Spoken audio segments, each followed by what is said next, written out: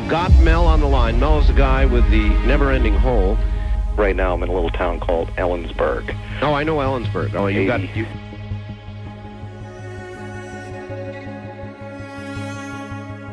The story of Mel's hole first gained widespread attention in the late 1990s when a man named Mel Waters appeared on the popular radio program Coast to Coast AM and shared his incredible account of discovering what he believed to be an endless pit on his property in eastern Washington.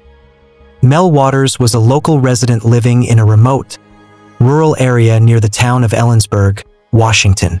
By his own admission, he was not someone who typically sought out the spotlight or made bold claims.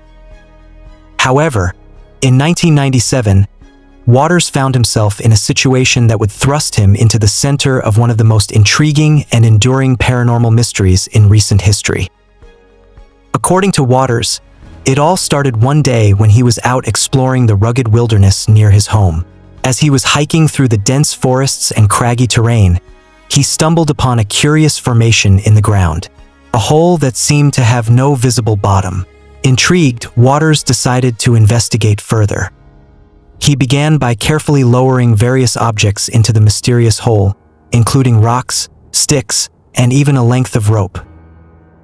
Perplexed and unsettled by this strange phenomenon, Waters continued to explore the site over the following days and weeks.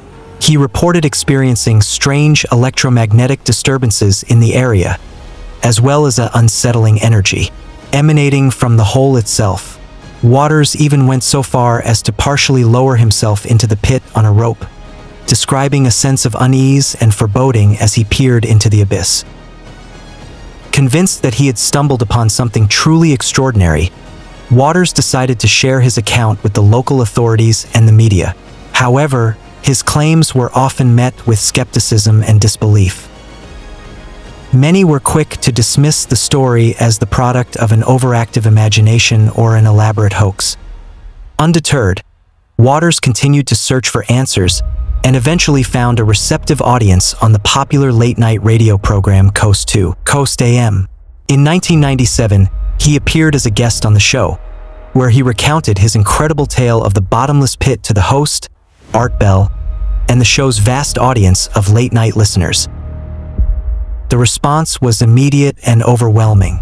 Callers flooded the phone lines, eager to learn more about this mysterious phenomenon, and the story of Mel's hole quickly became a topic of intense fascination and debate. In this show, Mel was talking about a very deep hole or pit that he found. He described some details about the size and depth of this pit. First, Mel said the pit was around 9 feet wide. That means across the opening at the top, the pit measured approximately 9 feet from one side to the other. 9 feet is a little less than the length of three normal-sized adult men lying head to toe. So the opening was quite wide, but not enormously huge. Next, Mel mentioned that the pit had a stone retaining wall. A retaining wall is a wall built to hold back soil, rock, or other materials. Usually it is built using stone or concrete blocks stacked on top of each other. So around the edges of this pit was a wall made of stacked stones, perhaps built long ago to reinforce the opening and prevent the sides from crumbling inwards. The most striking detail Mel provided was about the incredible depth of this pit. He said he was unable to measure how deep it went, even after lowering over 15 miles of fishing line straight down into it. Let me put that incredible depth into perspective. 15 miles is an astonishingly long distance. It would take over four hours to walk that far at a normal pace. Extending a fishing line that lengthy is already difficult to comprehend. But the fact that the line didn't hit bottom even after being lowered that incredible distance means the pit plunges deeper into the earth than most people can realistically imagine. For comparison, the deepest hole ever dug by humans is the Kola Superdeep borehole in Russia, which achieved a depth of around 7.5 miles. But this pit that Mel found appears to be at least twice as deep as that. It's an almost inconceivable depth. Most buildings are less than half a mile high. The cruising altitude for commercial airplanes is around 6 to 7 miles up. Even the height of the boundary between the Earth's atmosphere and outer space is only about 60 miles up. So 15 miles is staggeringly, mind-bogglingly deep for a hole or pit in the ground.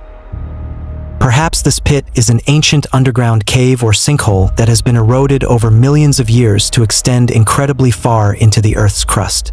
Or maybe it is a borehole or vertical mine shaft from an ancient civilization with capabilities, far beyond our own. But for Mel to be unable to find the bottom even with over 15 miles of line is nearly unbelievable. Frankly, if not for the specific details Mel provided about the width and retaining wall, it would be easy to dismiss his claim as a tall tale or exaggeration. After all, most people have never seen a hole more than a few hundred feet deep. A 15-mile deep pit seems far too outrageous to be real. But with those tangible details he gave, it becomes harder to simply write it off as fiction or a case of mistaken measurements. Mel seems to have genuinely discovered a remarkably deep, mysterious pit that may plunge so far down that its bottom has yet to be reached. In addition to the incredible depth of the pit that Mel discovered, some very strange and unexplained things were reported happening in the area around the pit. These bizarre occurrences made the pit seem even more mysterious and abnormal. As usual, I brought the dogs with me. Uh, they wouldn't go anywhere near the damn thing, and if I try to bring them there on a leash, they'll just dig their feet in. They do not want to go anywhere near the hole. The one guy claims that he threw his uh, departed canine down into the hole. Oh, really? And uh, he swears the, the dog actually came back to him. Their powerful sense of smell draws them to explore interesting sights and scents. However, Mel's dogs acted completely out of character when it came to this pit. Instead of being curious and wanting to sniff around the opening, they stayed completely away and refused to even approach the area where the pit was located. Their behavior suggested they could sense something about the pit that made them afraid or unwilling to get close to it. Or maybe they could sense some kind of supernatural force or energy surrounding the pit that humans cannot perceive. Whatever the reason, their unusual behavior of refusing to go near it added to the sense of mystery. The second weird incident involved a neighbor's dog that had apparently died and was thrown into the pit, but then emerged completely unharmed. At first glance, for a dead dog to be thrown into a pit of such staggering depth seems like its body should have been damaged or at least caused serious injuries. No animal could possibly survive a fall from 15 miles up. But it was rather surprising that such depth rather gave life an animal. However, this dog came out from the pit alive. It's hard to imagine how that could be possible unless the pit had some kind of sloped or angled passage rather than a straight vertical drop. Or perhaps there are tunnels or cave systems branching off from the main pit that allowed the dog to exit from a different location. It's also strange that the neighbor's dog was in the pit in the first place and managed to find its own way out. But when it returned, it was quite unfortunate that it couldn't recognize its master or any other person it knew before, but all its features remained unchanged. Taken together, these two bizarre occurrences Mel's dogs showing an innate fear of the pit area and a neighboring dog thrown into the hole but came back alive contribute an air of unearthly mystery. They suggest that something highly unusual and abnormal may be happening with this pit. While the widespread attention helped spread information, it also had unintended consequences. Now that millions knew about the anomalous hole, many people wanted to see it for themselves.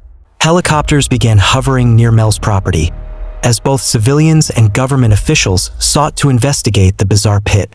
The hole and the area around it soon faced increased scrutiny and interaction from outsiders. This extra attention is what ultimately led to authorities becoming directly involved. Their intervention would further shroud the case in mystery. But for now, Mel was simply glad to have a platform to share his story and get guidance from others on how to solve the incredible puzzle. In the days following Mel's appearance on Coast to Coast AM, even more strange events began occurring near the mysterious hole. Mel claimed that one of his neighbors spotted an unusual black beam emanating up from the pit and cutting across the sky. Listeners of the radio program also started providing context about the area's history. They said that region of Washington was well known for UFO sightings and paranormal phenomena over the years. Disappearances had been reported there as well. Mel arranged to return to Coast to Coast AM and give an update. But on the scheduled night, he failed to call into the program as planned. Now deeply worried for his safety, Art and others from the show decided to travel to Mel's property themselves. When they arrived, though, they were met with an even bigger shock. According to Mel's precise descriptions, there was no visible hole to be found. All that remained was disturbed earth, as if the pit had been deliberately filled in. In its place were clues of organized military activity on the land. A very strange and unsettling situation developed the very next day involving the military. When Art Bell and his team found no trace of the hole, but instead saw signs of military activity on Mel's property, it raised serious questions. What had really happened in the days since Mel's radio appearance? Not long after, some answers began emerging when Mel finally contacted Art again. Mel reported that upon returning home after the show, he found his property blocked off by armed personnel. They claimed an aircraft had crashed on his land but Mel knew of no such incident. Strangely still, the men preventing Mel's access threatened to seize his property. They hinted false charges could be brought against him if he didn't comply. Furious yet fearful, Mel vowed to go public with his experience. But without proof, no one would believe him over government forces. Military personnel showed up and completely blocked all access to Mel's property where the pit was located as they claimed that their reason for restricting access was because a plane had crashed somewhere on or near Mel's land. If a plane had actually crashed in that area, it would make sense for the military to respond quickly and secure the scene for investigation and recovery efforts. Clearing civilians away would be standard operating procedure. But here's where it gets strange.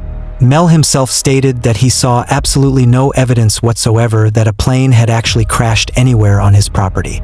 There were no wreckage remains, no scorched areas, no debris fields, nothing at all to indicate a plane went down. Mel surely would have noticed something like that, especially if the supposed crash site was close enough to the pit that the military felt compelled to block it off too. The lack of any plane crash evidence directly contradicted the military's claimed reason for restricting access to his land. It showed directly that these military personnel were determined to seize Mel's property due to all these claims they attributed. With his land and safety now under threat, Mel faced a difficult decision. Should he stand up to the mysterious forces and risk further danger, or reluctantly accept their terms? Events were taking a dire turn, and the truth behind the anomalous hole seemed destined to remain buried. Mel found himself in an incredibly difficult position given the threats and intimidation tactics being used against him. Facing the prospect of losing everything, he decided to reluctantly cooperate with the mysterious forces for the time being. So this raised a lot of questions. If no plane actually did crash there, why would the military make that claim as an excuse to take control of Mel's property? What was their real motivation for suddenly wanting to prevent anyone from accessing the area around the pit just one day after Mel's weird story about it went public? A few days later, Mel received an unexpected offer to lease his property to the government for an enormous annual sum of nearly $3 million. However, there was a major catch. As part of the deal, Mel would have to immediately sign a non-disclosure agreement, pack up, and leave the country permanently without returning. Feeling he had no other choice, Mel took the deal. He departed the United States and settled in Australia, keeping silent about his experiences per the agreement. For years, it seemed his strange saga was finished. However, Mel's story was not over. Individuals try to understand why military personnel would seize someone's property while preventing the person from entering, without any crime charged against the person. One possibility is that the military's true intent was to investigate and secure the pit itself after hearing Mel's outlandish claims about its extreme depth that seemed to defy reason or logic. Perhaps they wanted scientists and researchers to study it without outside interference or scrutiny. Another unsettling possibility is that the military already knew about this pit's existence from previous measurements or encounters, and they wanted to restrict access because it related to some kind of classified operation, experiment, or other clandestine activity in that area. The pit may have been off-limits for security reasons unrelated to a fake plane crash. Alternatively, Maybe the pit acted as some kind of entry point or passage to an underground military base or facility that they didn't want civilians accidentally stumbling upon and exposing. The depths could conceal all kinds of secret tunnels and chambers. Or perhaps the military presence was meant to silence Mel himself after he disclosed information he shouldn't have on the radio. Shutting down access could have been a tactic to cut off his ability to share more, or even detain him through misleading pretenses. Regardless of the exact reason, the military's highly irregular reaction and clear dishonesty about a non-existent plane crash happening created an atmosphere of great suspicion about what they were actually trying to do or cover up in that location. The fact that it came immediately after Mel's interview about the pit's bizarre properties strongly implies some direct connection to his discovery. After Mel shared the details about the extremely deep pit on his property, and the military took strange actions to restrict access to the area, several theories began circulating to try to explain what the pit actually was or where it could lead. One theory was that the pit was actually the opening to a massive volcanic cave or lava tube. These are natural cave systems formed by flows of lava that leave behind an emptied underground tunnel or channel once the lava drains away. Some of the longest lava tubes on Earth extend for many miles underground. The thinking was that this pit could be a vertical shaft that opened up into a huge subterranean lava tube cavity that extended far beneath the surface. This might explain why Mel was unable to find the bottom even after dropping over 15 miles of line down it.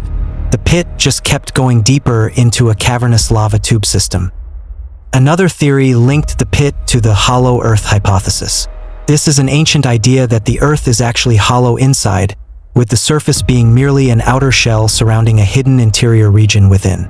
Some versions of the theory propose there could even be whole other realms or civilizations living inside this inner hollow space. Those subscribing to this hollow earth theory speculated that the pit might be a tunnel or passage that could lead through the outer crust and allow access into the mythical hollow innermost region at the center of the planet. Its unfathomable depth seemed to align with the idea of it plunging towards this supposed inner world. A third theory emerged that the pit was actually an entrance of some kind connected to a secret underground base or facility operated by the government. This speculation arose from the military's highly suspicious actions of blocking off access to Mel's property under false pretenses shortly after he went public with information about the pit. The theory proposed that the pit's incredible depth and the military's clear interest in securing the area indicated it must have been related to some kind of top-secret government project, base, or installation located far beneath the surface for secrecy and security.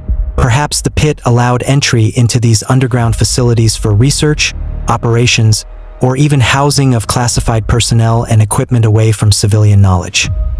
Adding credence was the pit's reported proximity to an existing military base in the area. This close location made sense if the pit's underground tunnels stretched towards secure military facilities nearby designed to conceal highly classified work, testing, or activities from outside view.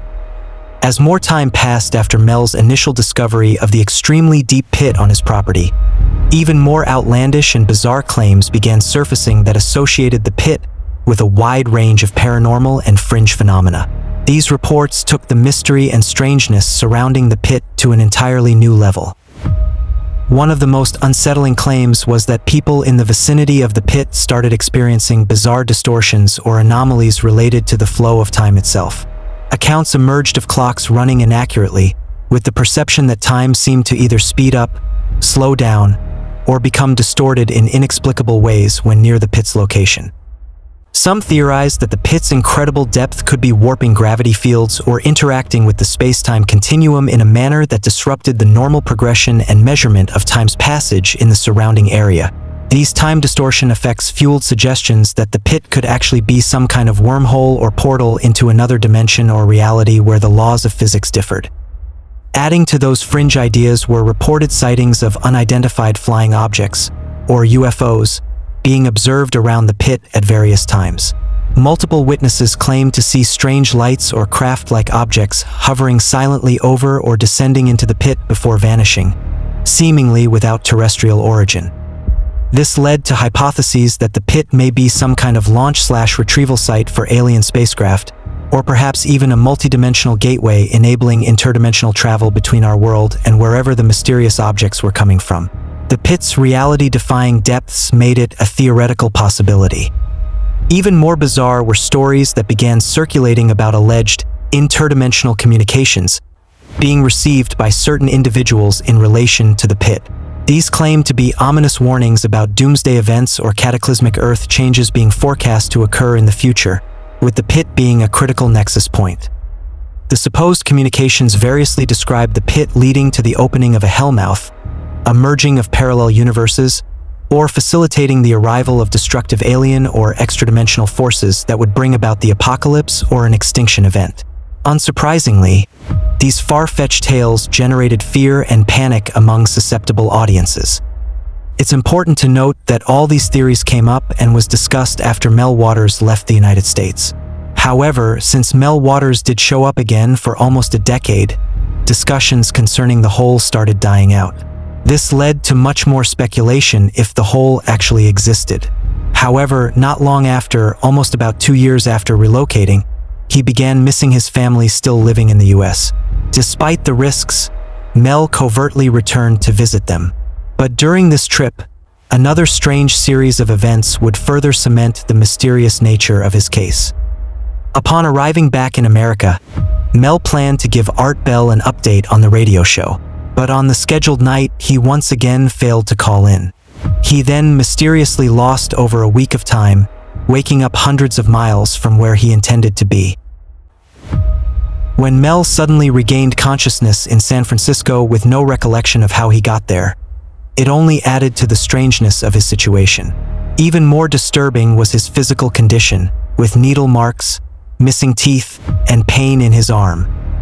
It seemed some kind of medical procedure had been performed on him against his will. But by whom and for what purpose remained a mystery. With his memory of the past 12 days completely erased, Mel had no answers. To make matters worse, he soon found himself in legal trouble back in Washington. Though he hadn't been there in years, Mel was being falsely charged with crimes like illegal construction on his old property. It appeared the mysterious forces were still actively working to ruin him. Word of these new troubling developments eventually reached Art Bell. Knowing Mel's credibility from their initial contacts, Art helped spread awareness of Mel's dire circumstances. This may have offered him some protection from further harassment. However, Mel had also clearly made new powerful enemies by his continued efforts to share his experience. It seemed they would stop at nothing to discredit and dispose of him. Despite silenced for years, Mel's story was only just beginning its next strange chapter. The full truth of what lies beneath the land, and the forces working so hard to bury the matter, continue to evade full disclosure to this day. Even with Art Bell's help broadcasting Mel's plight, he remained in danger from the mysterious entities that had targeted him. Facing uncertain safety if he stayed in the US, Mel made the difficult choice to flee the country once more. He secretly left North America and disappeared, going into long-term hiding in an unknown location. For nearly a decade, Mel maintained absolute silence about his experiences. All contact with the outside world ceased. During this time in seclusion, the true scale of the cover-up surrounding Mel's anomalous hole came into clearer focus. Investigations found that government records of his property, along with any photographic and physical evidence, had all been deliberately wiped from existence. It seemed immense effort was undertaken to rewrite history and ensure not even traces of documentation linking back to Mel's discovery could be found. The area itself showed signs of remediation, leaving no signs the reported hole was ever there. The level of revisionism implied this was no ordinary case. Powerful entities had intervened to systematically erase what Mel had uncovered on his land from all official records. Their motives remain deeply shrouded in mystery to this day. While in hiding, Mel had ample time to reflect on his experiences and what they could potentially mean.